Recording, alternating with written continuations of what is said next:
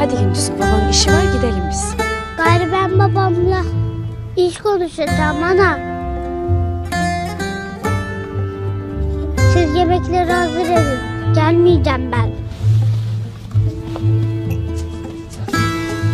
Gündüz Alp benimle. Merak etmez. E, iyi o vakit. Kolay gelsin size.